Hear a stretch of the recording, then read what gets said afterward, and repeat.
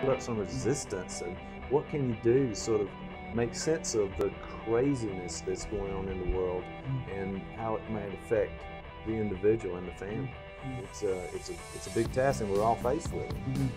You know, it's funny because one of my favorite, I've, I've said it on the show many times, one of my favorite ways to define trauma is anything that arrives before you have a chance to create it. And, and it's the lack of preparation. It's like if you wake up in the morning and the first thing you do is turn on your computer and the news and you hear like, uh, uh, I think today it was uh, 80 people were killed by a, uh, by a guy driving a truck.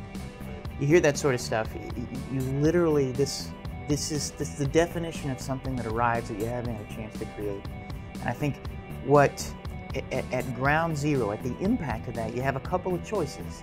And I think some of those choices can make it worse and actually turn it into a trauma. And uh, I think that what I might suggest, and uh, this, this comes from my sort of theoretical model and my perspective, is you have to at least initially engage with the impact of this event as each of these events happen, they have a chance also to compound themselves, so we ratchet ourselves up more and more. I think being able to do something with that initial impact, allowing yourself to acknowledge there's a, I know I say it all the time, but right, Dan right. Siegel has a way of saying, if you, you, the first step is to name it, to tame it, and right. to be able to say, you know, this is a trauma. When things like this happen, they may not be happening to me, since I'm part of the, the, the world out there, since I'm connected in the ways that we are, they do affect us. We are hit too.